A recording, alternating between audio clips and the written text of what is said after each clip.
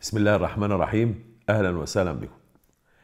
النهارده هنتكلم عن مشكلة ال- النمش والكلف. النمش وإيه؟ والكلف.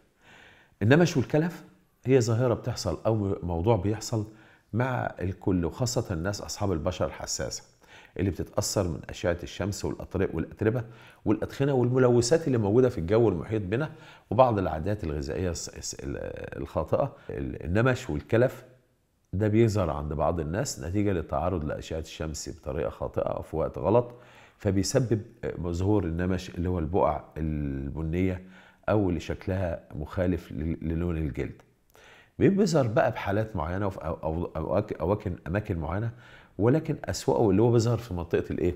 بشرة الوجه. ده بيسبب مشكلة للبنات ولبعض السيدات وبعض برضه بعض الشباب بيتأثر بالمسألة دي لأن بيأثر على شكله. وده وجهك هو مرايتك يعني هو ده مرايتك في التعامل مع المجتمع. فالإنسان بيحاول يهتم بمظهره ومش عيب ولا حرام. أنت لما تكون بتهتم بمظهرك يعني سيدنا النبي صلى الله عليه وآله وسلم علمنا أمور كتيرة عن النظافة والنظافة الشخصية والإهتمام بالمظهر. وكان سيدنا النبي صلى الله عليه وآله وسلم بيهتم بمظهره مش يعني يعني لأجل يظهر بشكل يعني بشكل طيب وهو طيب وهو جميل كمان في أمور بيهتم بها يعني. يعني كان يطيب شعره يستعمل عطور طيبة كان دايما المسك كان يعني دايما باستمرار. كل دي كانت مسائل تخلينا إن إحنا نهتم بنفسنا وبصحتنا. مجربة النهارده بسيطة جدا ومش هتبقى فيها مشكلة ومش حدش صعب إنه يوصل لها. بتعتمد على عناصر بسيطة آه، اللي هو جوز الطيب اللي هي دي. جوز الطيب دي عارفينها كلنا لأنها بتستعمل في الأكل. وزيت اللوز الحلو زيت اللوز الحلو. وبكرر تاني أهو مش بقى حد يسألني يقول زيت لوز حلو ولا مر؟ زيت اللوز المر للتقشير وصعب جدا لتقشير البصر البشر. وهو وهو مش جاي يعني مش هو مش مش مش من اللوز. زيت اللوز المر مش زيت لوز. هو زيت نوى المشمش. ولكن تجاوزا علشان هو آه، لما بيكسروا ال- النوى بتاع المشمش ويطلعوا الح- الحبايه اللي جوه فهي شبه اللوز. ف من زمان فقالوا عليه زيت فيه لوز. حلو؟ اللي هو بتاع اللوز اللي بيؤكل وفي زيت اللوز المر. زيت اللوز المر مش موضوعنا خالص. ده خاص بالتقشير. يبقى هنا جوز الطيب. زيت اللوز ماء الورد البقدونس. طبعا كلنا عارفين البقدونس أو المعدونس في بعض البلاد أنا عارف الاسمين دول. يبقى دي دي ال- الخامات بتاعتنا. بنتعامل معاه إزاي؟ نعملها إزاي؟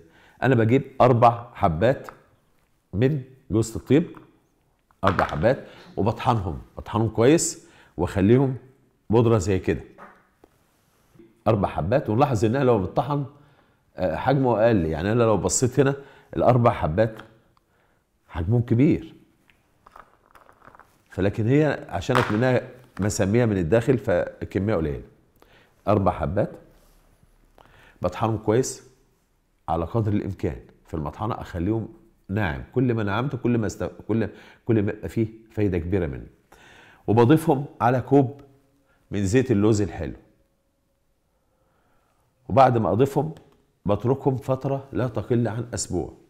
يعني بعد ما اضيف الأربع مطحون الأربع حبات جوز الطيب لكوب لكوب من زيت اللوز كوب كبير بحطهم في إزازة ويا ريت تكون إزازة لونها غامق أو يعني أي إناء زجاجي يكون لونه غامق. وبغطيها وبسيبها فترة ما تقلش عن أسبوع. في خلال الأسبوع ده بحاول أرجها كل يوم وبعد كده بطلع ال- الزيت بتاعي اللي أنا هستعمله. الاستعمال كالآتي. الأماكن المصابة أو المناطق المصابة بدهنها مرتين في الأسبوع أو ثلاث مرات في الأسبوع. بلاش يوم بعد يوم أو بلاش قصدي يوميا لأن ممكن تبقى إيه؟ مرهقة شوية عشان نريح برضو البشرة. اليوم اللي أنا مش هدهن فيه يعني يوم بدهن الدهان اللي هو زيت اللوز مع جوز الطب ده يوم. أدهن قبل النوم وبصبر شوية وبسيبه ع- وجه من غير غسيل لغاية الصبح. اليوم بقى اللي هو التاني اللي مفيش فيه دهان زيت زيت اللوز بجوز الطيب أنا بجيب آه، حزمة بقدونس أو معدونس وبغليها في كوب ماء أغليها أقطعها وأغليها وآخد الماء المغلي أغسل بيه المنطقة اللي هي مصابة من النمش أو الكلف. يبقى يوم مية مقدون مية بقدونس المغلي بتاعها بغسل بيه ويوم الخلطة اللي هي زيت اللوز مع جوز الطيب. طيب أنا يعني اليوم اللي هو قبل ما أحط اليوم اللي قبل ما يعني أكون أحط فيه زيت اللوز ده مع جوز الطيب ممكن أنضف البشرة قبلها بعد ما أعمل الحمام وكل حاجة. بجيب قطنة مبللة بماء الورد طبيعي وبمسح بيه المنطقة اللي أنا هحط عليها نفترض أنا عندي نمش في المنطقة دي مثلا. بجيب القطنة وبمسح بالراحة وأسيبه لغاية لما يجف. وبعد ما يجف باخد المخلوط بتاعي اللي هو زيت اللوز مع جوز الطيب وبدهن المنطقة واسيبها لغاية لما تنشف وأنام وما اغسلهاش إلا الصبح. ده يفضل. آه رجاء برضو ما نستعجلش في في الموضوع ده. ربما سمعتوا مني المو... الكلمة دي في حلقة سابقة.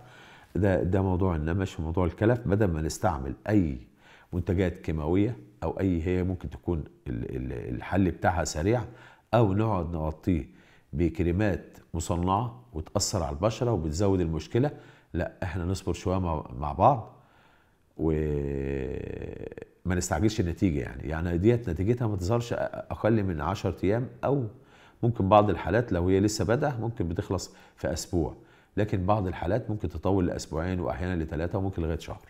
فما نستعجلش المسألة وناخد الأمور ببساطة وننفذ اللي موجود. ما يجيش حد يقول لي إيه أنا ما لقيتش زيت لوز حلو. ممكن أحط زي زيت سمسم ممكن أحط زيت كذا. لا المجربة زي ما أنا قلتها. لأن ليه اسمها مجربة؟ يعني في ناس قبل منا جربوها كتير. وطبعا شيء أنا بضحك عليه. يعني في بعض الناس يدخل إيه يسأل يا جماعة حد جرب المجربة دي ونجحت معاه؟ أنت مالك؟ مالكش دعوة بغيرك. ما ممكن تنجح معاه ممكن ما تنجحش معاك. وممكن ما تنجحش معاه وتنجح معاك. انت والله عجبتك اعملها. ما عجبتكش ما تشغلش بالك وما تستنظرش حد يرد عليك. أنا ببقى زعلان عاوز أقول له أو أقول لها ليه بتسأل؟ انت مش واثق في كلامي؟ ما تعملهاش. لو انت مش واثق ما تعملهاش. واثق توكل على الله. وربنا هو الشافي. لا ده هيشفيك ولا زيت اللوز هيحل لك مشكلة. ده هي من عند الله سبحانه وتعالى. فهو توفيق من عند الله. انت بتنوي وتوكل على الله وتتوكلي على الله بنعمل الأمر. فمالوش لازمة إن أنا أقعد أسأل وأدخل واحد يقول لي وبلاش إن يدخل حد يعلق وأخد بالكلام اللي داخل يقول. اللي داخل يقول مش مسؤول. يعني بيدخل يتكلم أنا بلاحظ كتير تعليقات ملهاش معنى. وبعيدة عن الصحة وبحذف بعض التعليقات الخطر والغلط. فرجاء خد المجربة اللي موجودة ونعملها. وربنا يوفقكم وأتمنى تكون الحلقة عجبتكم ونستفاد منها. وإلى اللقاء في حلقة أخرى إن شاء الله. والسلام عليكم ورحمة الله وبركاته.